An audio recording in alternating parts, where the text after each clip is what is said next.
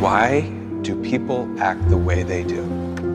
Why do people feel the way they do? There's a reason.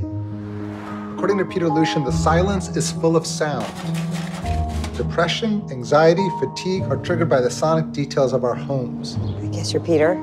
I'm Ellen. I am always tired. Exhausted, actually. Stick out your tongue. I can see things on your tongue that can help me. Kitchen. E flat. Weird, but kind of sexy. Is he single? Are you serious? Sound influences the way that people connect with each other. They may not even know it. Radiator is contributing to your anxiety. Hey, Peter. God, this probably sounds so strange. Your feelings continue. Yes, my um my feelings continue.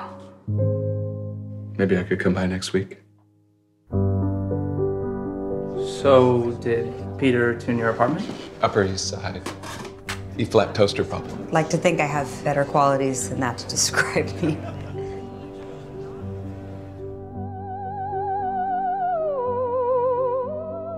Hopefully, you feel a little more comfortable with me by now.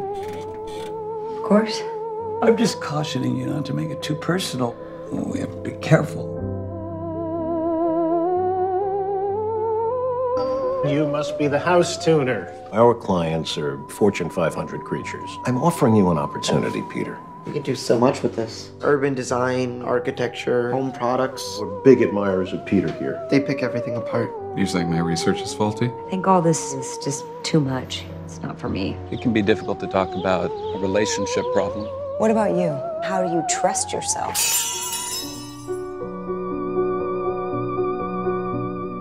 Are all these connections. There's something deeper at work.